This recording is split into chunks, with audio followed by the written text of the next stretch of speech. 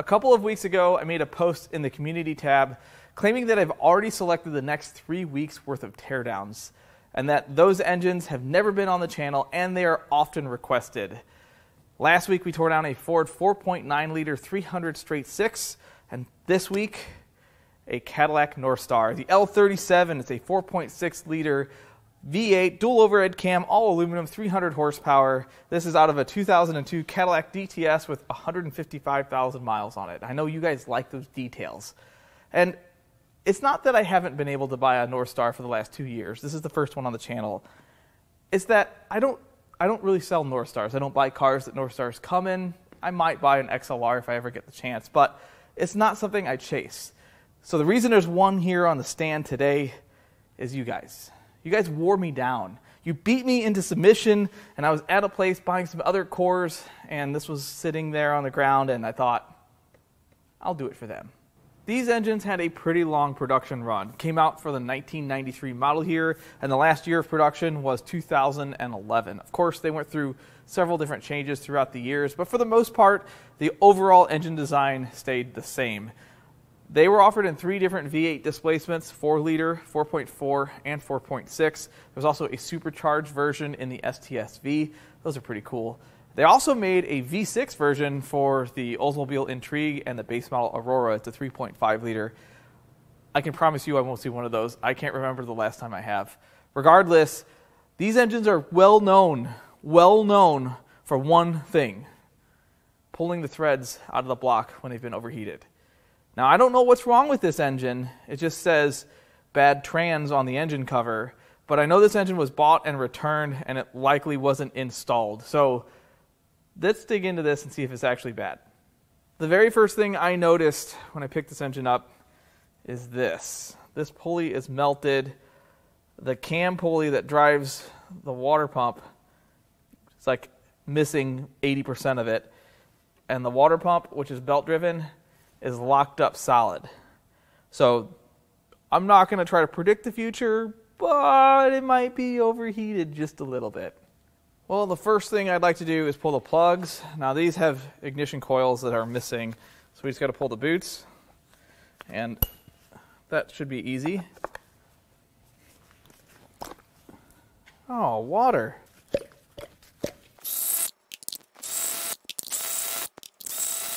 To get to the rears, I need to remove, well, it looks like somebody already did. There's one connector here. Oh, I got to get the engine cover.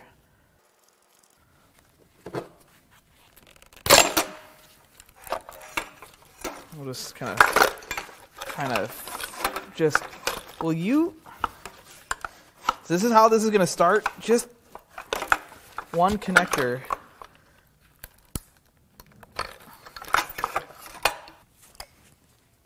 Oh, that's all oil. 1040. Valvoline.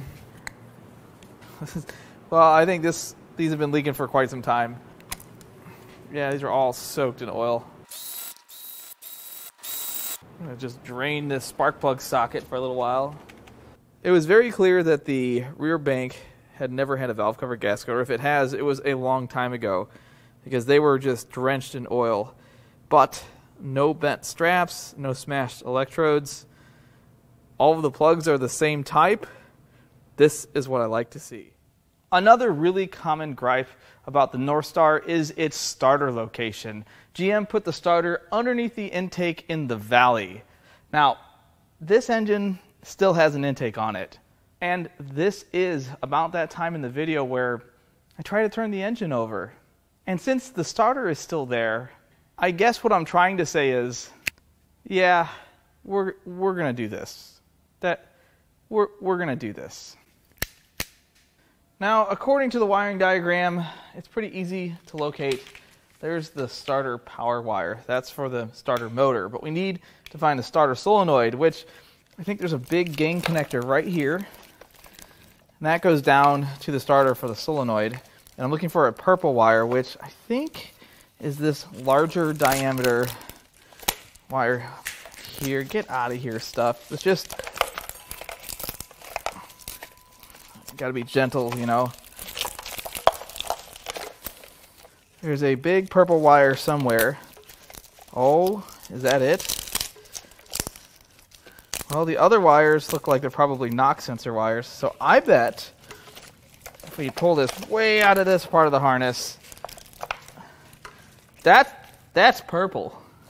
That's our wire. So what we're going to do is we're going to pull this wire through all of this tape and we're going to affix it to this. So what I've gone ahead and done is found the two wires for the starter. I just uh, put them together. Got it grounded to a stud right there. It's probably not good enough, but we're going to try that anyway. And then these lead to power. All right, ready? Oh, wait, wait, wait, wait, wait. I have no idea what's going to happen here. So here goes something.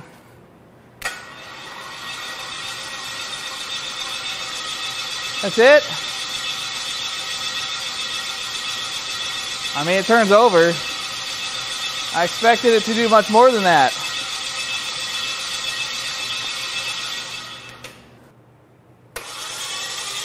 Oh, it's much faster.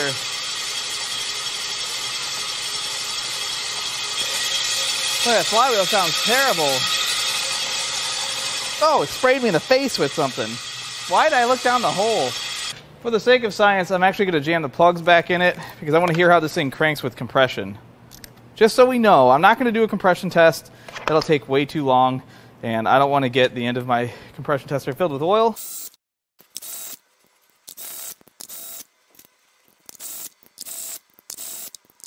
All right, now we'll see how it cranks with compression. See if it has a gallop or if it hits evenly. Not great.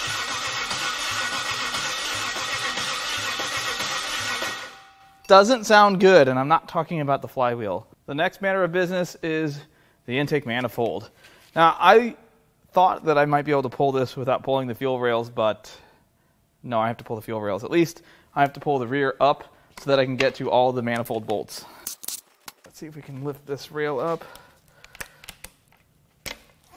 Yeah, now I can get to all the bolts. We're just going to do this the right way.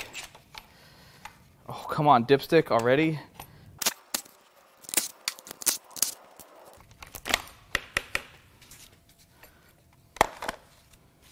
All right.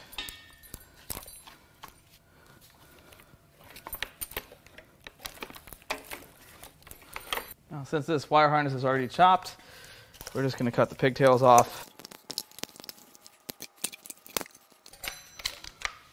Fuel rails off. Now, all the manifold bolts. Blue.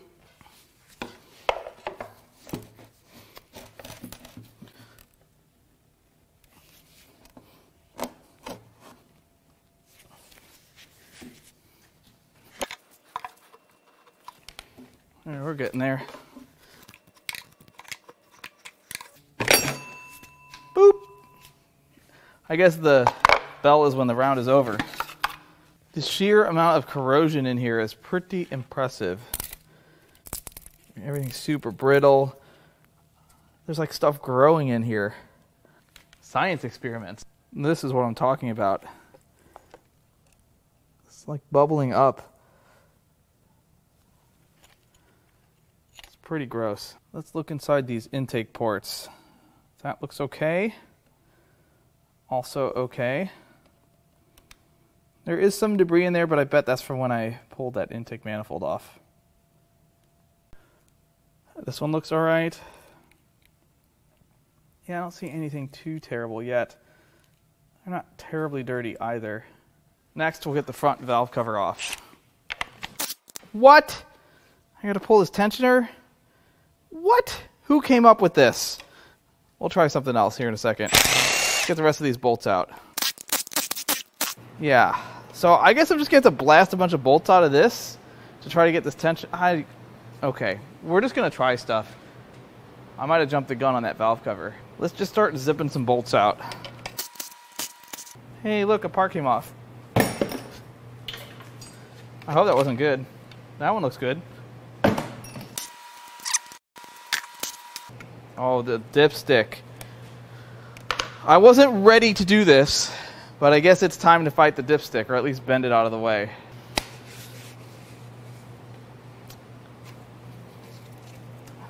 Uh, we're just gonna.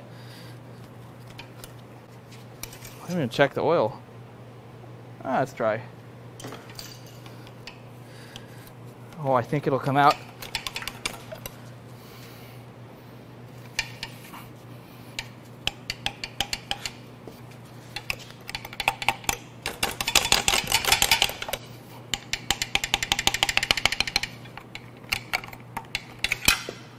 Yes. I win again. Now we're going to try to pull these out. See how this works. Perfect. That wasn't too bad. All right, now we can get that last bolt. I'm sure this will just.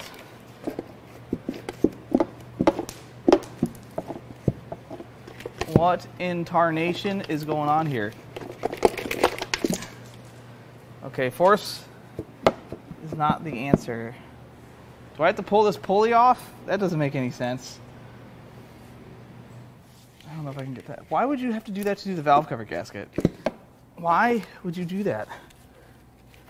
Oh, I can see on the inside, but I can't get this off. I'm bringing bolts everywhere. I'm not having a good time. I know you guys are yelling at me now. That's not how this comes off. Well, you know what? You're right. It doesn't. It isn't. All right. Well, it looks like I need to pull the remains of this pulley off of here. It looks like I could use a, a special kind of puller, which I don't have. So I don't really have any aces up my sleeve, but I do have a hammer.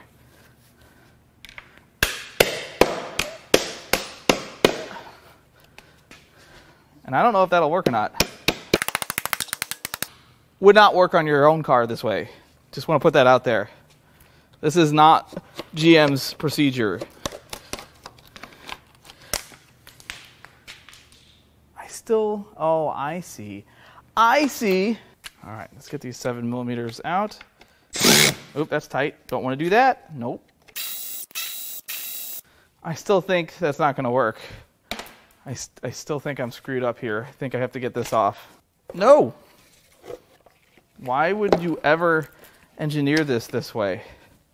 Yeah, that's like a press fit. I'm going to really have to look to see if I have the tool to pull this. Otherwise, we may have to do something kind of drastic. Okay, I give up. I'm going to have to do this the right way. And thankfully, I didn't think we had one here, but we do have one here. Shows what I know. A power steering pump pulley or alternator pulley removal tool, which I think will get this out.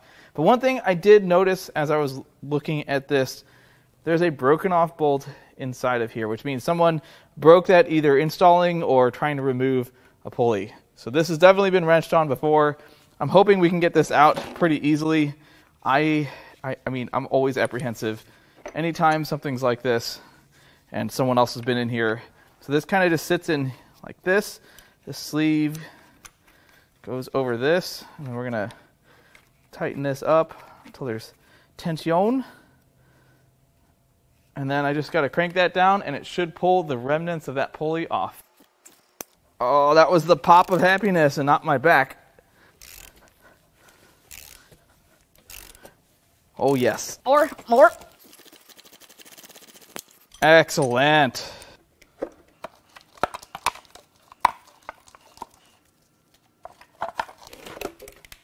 And we're off. Well, this doesn't look too terrible in here. I don't see any metal. I don't see anything too awful yet. Let's go pull the rear valve cover. This one should be a lot easier.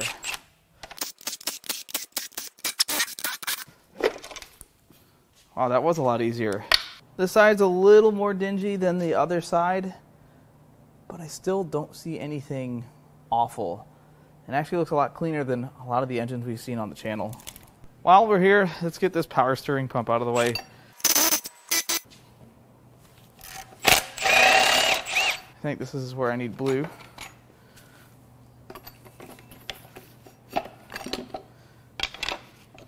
Now I really need to remove this water manifold, which also has the throttle body plate on it. Throttle body's mounted to it, the EGR valve.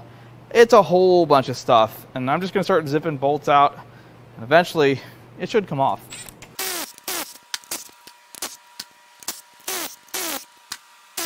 Oh, we're leaking water. That's not coolant. Uh, maybe I should get a pan. Yeah, that's just water. That is not. Oh, I see more bolts. Is that it? I feel like there should be more. Uh, apparently not. Oh, this is gigantic. Nope, not gonna say it. Now, let's see if we can get this front exhaust manifold. This should do it.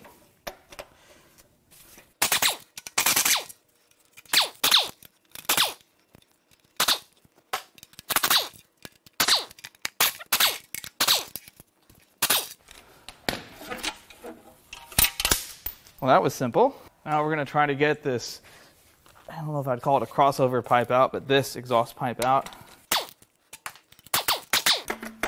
Oh, blue. I need you. That wasn't bad. All right, now the rear exhaust manifold.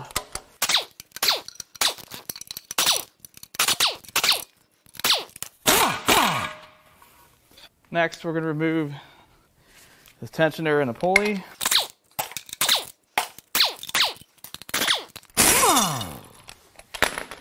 Next, let's get this harmonic balancer out. I think that's keyed. I think I'm gonna have to use a puller. Wow, it has a lot of. That's a lot. Is that normal? There's no way that's normal. Am I working on a 4G63? All right, let's get the puller on it, get this off. This should work. Like butter. Now we'll get the timing cover removed.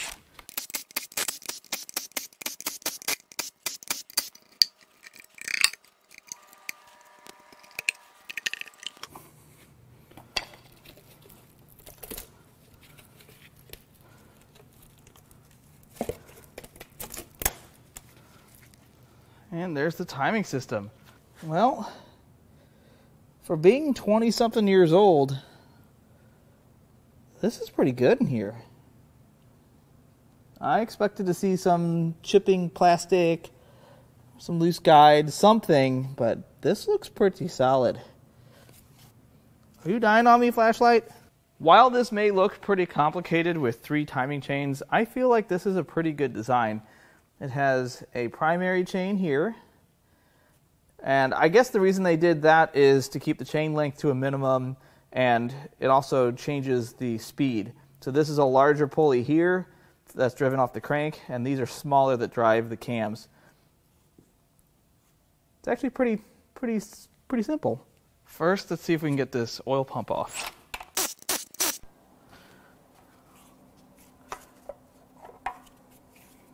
Yeah, that pump looks looks pretty good. It's really simple. It's definitely worth saving. The next thing I'm going to do is remove these. These are like access plugs. And I would never use an impact on these. Because they're, I think they're plastic. So if they get stuck, you could just strip them out, you know.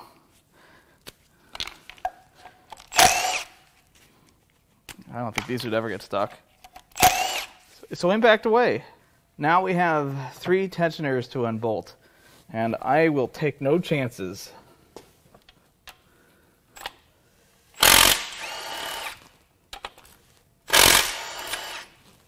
Oh, that wasn't too bad. That one's still under tension. Let's just, um...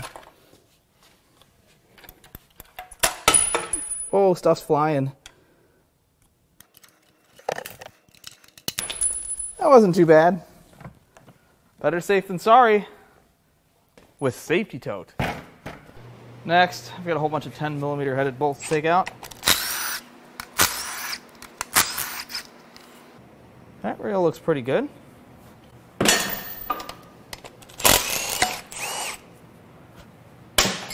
Now, there's a few more 10s behind those access plugs that I took out. Get those out of the way.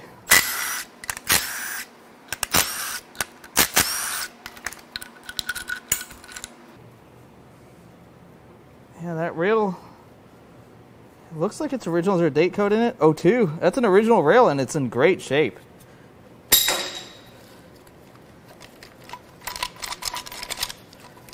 You let go. There we go. Oh no. Coming out. Oh, two. Also in great shape. Now, This bank looks like it's more stuck.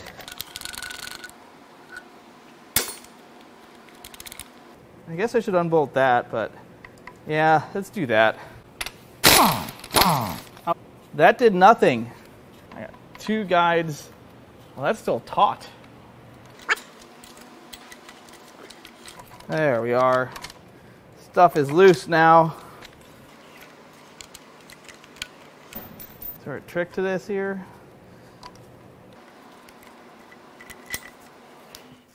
If I, I take it off of one of these, and then I go like this, and then bada bing. No! Ah, what a fight that rail was. But it is nice, and it is original. And the last one.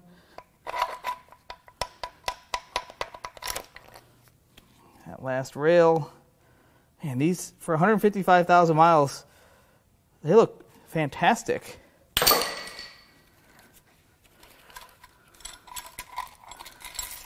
Oh, that chain comes all the way out. There's one, and let's see. Yeah, that's a nice chain. This, this chain does not come out because of this cam sensor. If I pull that out, we'll be able to get the chain out. And then this, we'll just have to deal with later. That's a later problem. Boop. Now it does look like I could remove the heads with the cams, but I want to look at the journals and I'm going to take it apart. That's what we do here. So now we can cram the cap caps loose.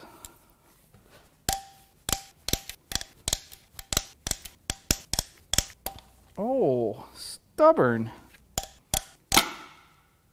Okay.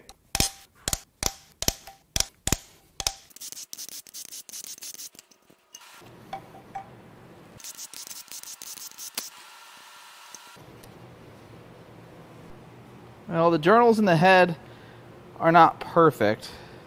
See, there's some scratches and grooves, but it's not really that bad, and I don't see any fine metal that would be normally hanging out where the oil comes through.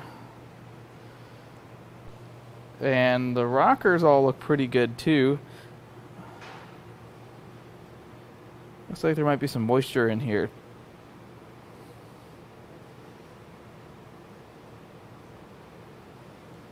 And the cam journals themselves, they're not that bad, but it does look like there's a little bit of rust or pitting on a couple of these lobes. Like there was a little bit of moisture inside the crankcase.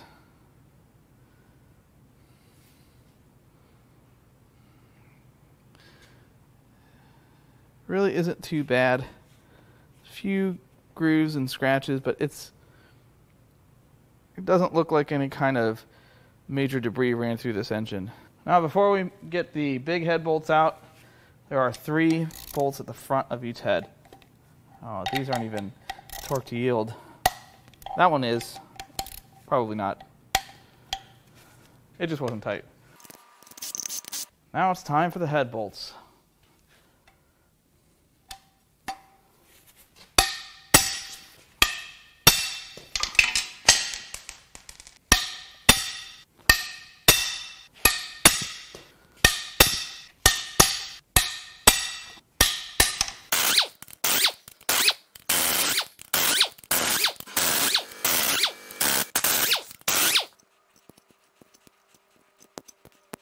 Now, head should lift off.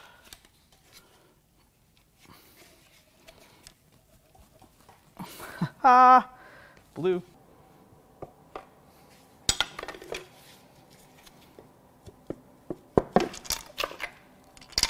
Head gasket off.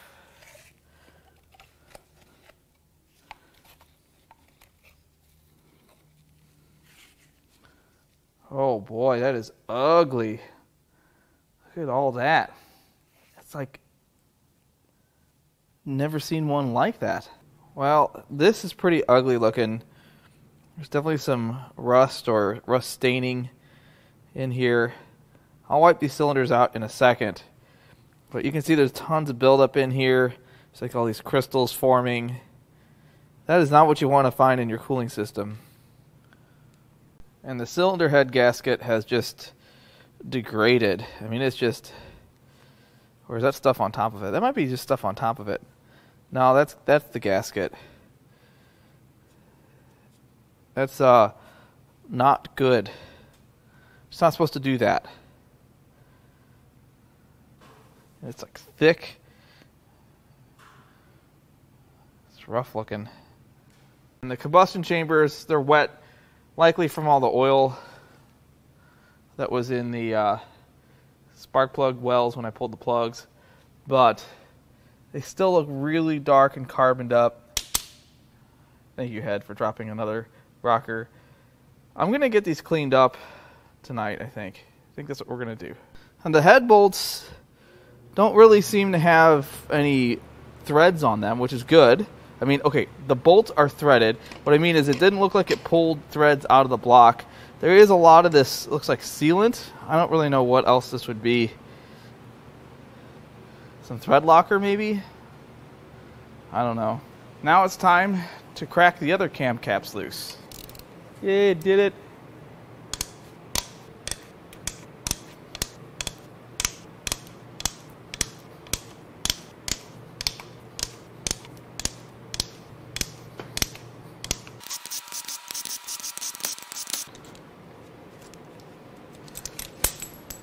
Stuff.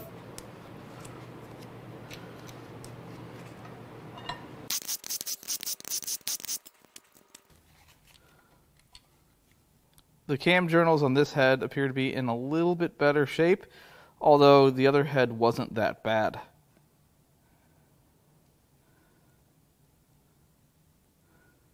There's really no signs of wear whatsoever. And the camshafts definitely reflect that. These look really nice. It's just a real shame that someone broke off a bolt in the end of it. Cam caps look nice. The other cam looks good. Let's get those front head bolts here.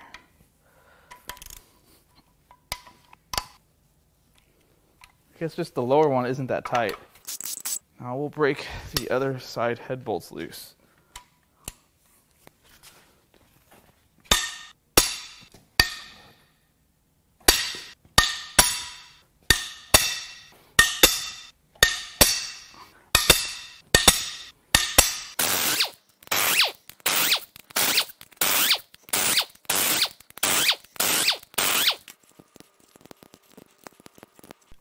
See if this one comes off or if I need any help. Yep, blue.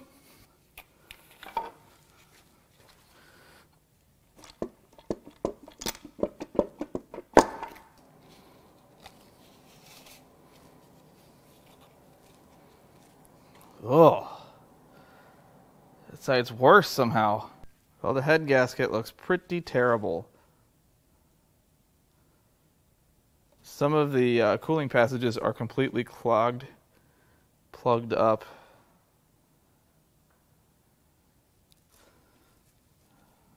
And look at the buildup on there. And then the head. The head doesn't look as bad, but I mean, look at how much junk is in there. I don't see anything white like it was stained with coolant or running on coolant. Nothing super clean. And the the block, I mean, look at look at this. This is all plugged up. Like this is that's not metal there. That's Wow, that's terrible. There, you, you want some there. That's still good. Whatever that is. It's pretty awful. Now I'm going to spray down the bores. And uh, we're going to wipe them, clean them a little bit. See if we can gauge what their actual condition is.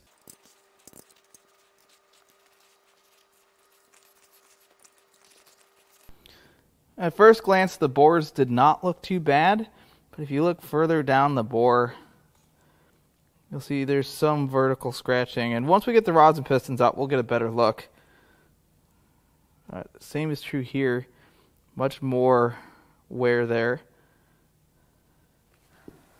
On the other side as well. I'm going to show you the one on the other side of the. This side has some really deep ones. I can definitely feel that with my fingernail. That would not clean up with a dingleberry hone.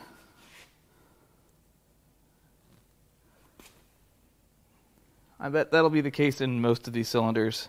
It's 1.30 in the morning, and I think I'm going to call it a night.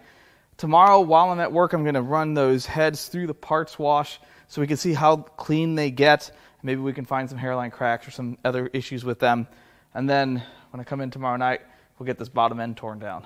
Now it's time to flip this thing over. I really am curious to see what this coolant looks like.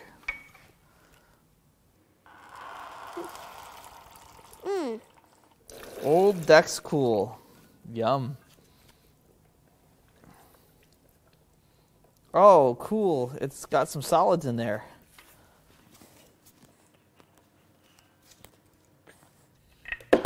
Oh, we still have oil in there. Let's get the other pan. Before we take the pan off, I'm going to remove the oil filter housing. Whoa now.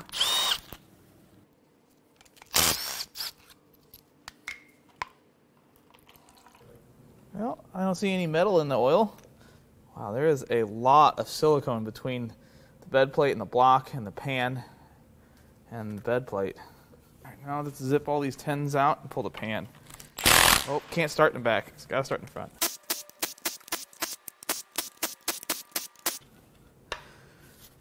There we are. That wasn't too bad.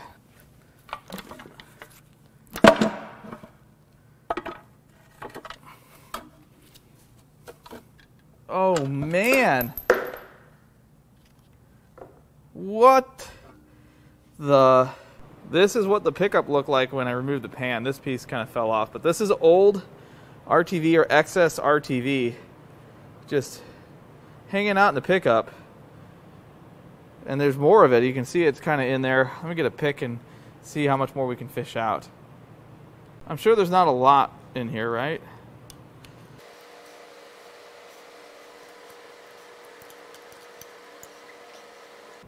There actually is a lot in here.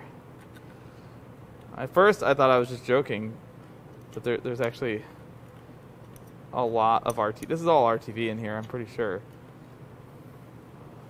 We're just going to have to take that off and try to blow it out, clean it out.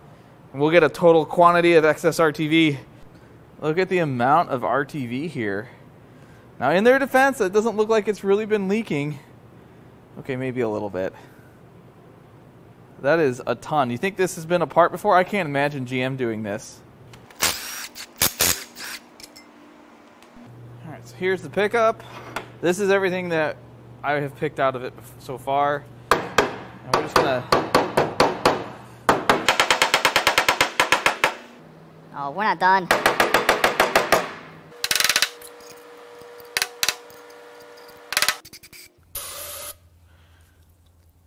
There's some more.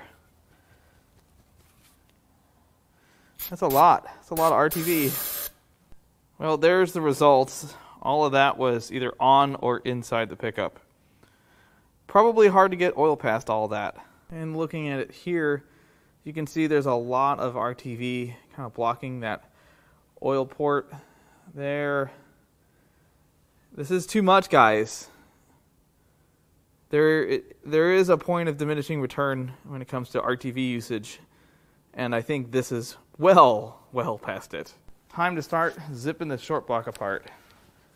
Nope, nope, nope, nope.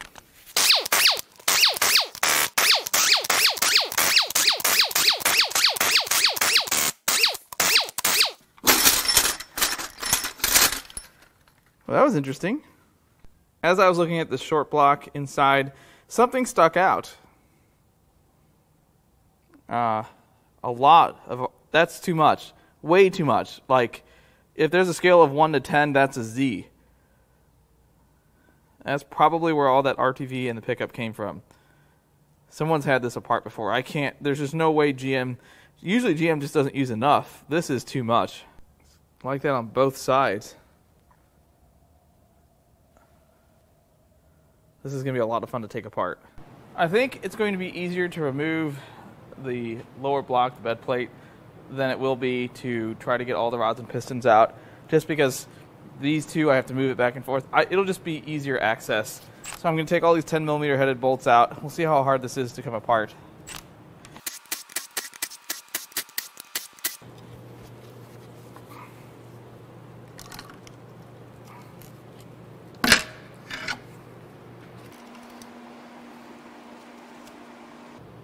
Oh man, there's so much sealant. Battery's dying. Yep, cracked them loose by hand. What's weird is that there are no bolts for this in this area of the block. None that I can see anyway. Maybe there's. Oh, wait. Nope, there are none. So I must just use the clamping force of the main journals there. There's so much RTV, I don't know where to start.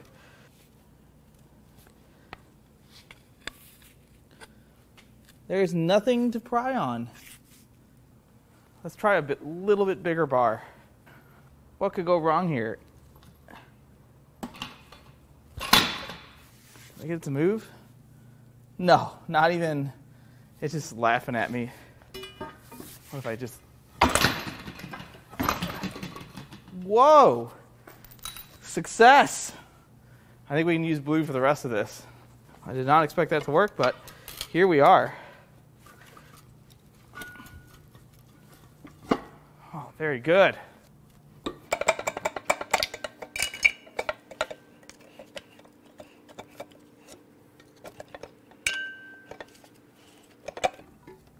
The main bearings show plenty of wear. They're not worn through, but they're also not in, well, that one kind of is. They're also not in great shape. But the main thing I want to talk about is RTV. It is really good at sealing things, so don't put it in places that you do not wish to seal. Because this person probably did. That's just so much. It's like $58 worth of RTV. That must have taken forever. Here's the other side. This side doesn't look as bad. There is still a lot left. Let's start getting some rods and pistons out.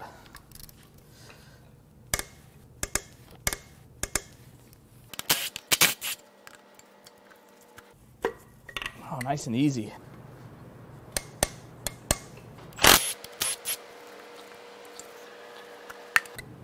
Now for the next two.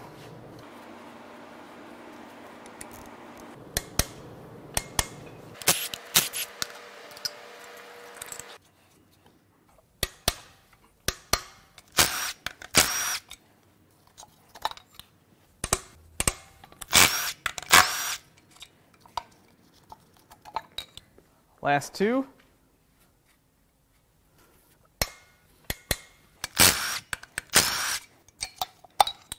They practically fall out of the bores. Come back here.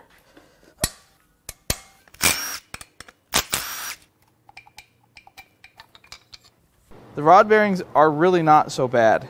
They are worn, but they're worn pretty evenly. There's not a lot of damage like there was dirty oil or something in the oil. I did look at them pretty closely. Since we think this engine's been apart before, I would assume there'd be like a date on here. And it's got a factory part number. And it says 055 oh standard. That's not a 5. I'm an idiot. Yeah, an 05. But some of these say 16, so I don't think that's a date code. I think those are the original rod bearings. The rods and pistons all look pretty decent. There's a little bit of skirt wear. I cleaned this piston off a little bit, but really not bad. I don't know that they're worth anything. This is how they looked when they came out. There's a lot of oil in there. Lots of carbon buildup on them, dirty oil. But no damage really. Just a little bit of wear on the skirt. That one's got a little more skirt wear. It's not bad though. I know how you guys like comparisons, and I don't do enough of them on the channel. But on your left, you have your standard Gen 4 full floater 5.3 rod and piston. It's a flat top, so it's uh, non-variable valve timing. And on the right is one of the Northstar rods and pistons. And there are some similarities. You know, they're they're both round. They have the same number of rings. I'm I'm kidding. But the overall piston design is pretty similar, but obviously there are differences. And, and, plus, this is a 2002 Northstar, and this is at least an, an 05 or 06 rod and piston. You can definitely tell which rod is stronger. Before I yank the crank, I need to get this chain off of here. And I feel like this has to come off somehow. Oh, well. Well, that was significantly easier than I anticipated. I was going to have to get the bolt cutters out. Oh, wait a minute. We're still not any better than we were. Oh. Figuring stuff out, but I think this piece is part of the crank. Nope. Excellent.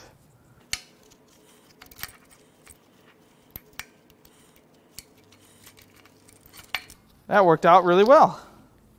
Now the crank should just right out of there. Well, the crank would probably need a, a, polish before it gets reinstalled. The journals really aren't that bad. I obviously haven't measured them or anything. There's no major damage. They're just not perfect. The bores definitely have some damage vertical scratches. I can absolutely feel that with my fingernail through my glove. Pretty much both sides. That side's a little bit better.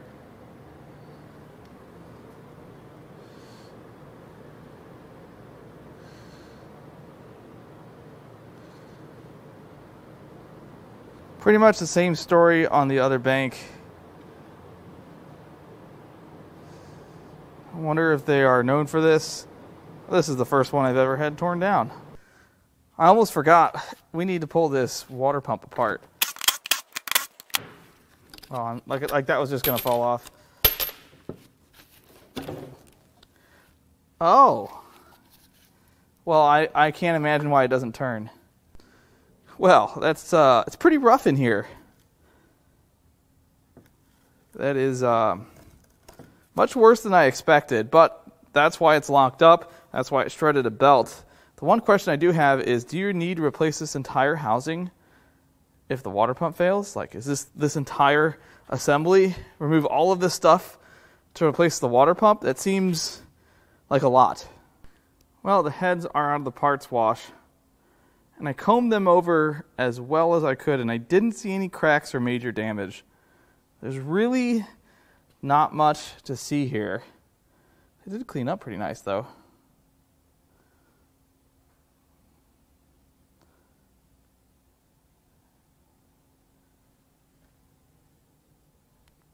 The other side came out really nice too. I don't know if they're flat. Probably need to ch- check them with a straight edge, but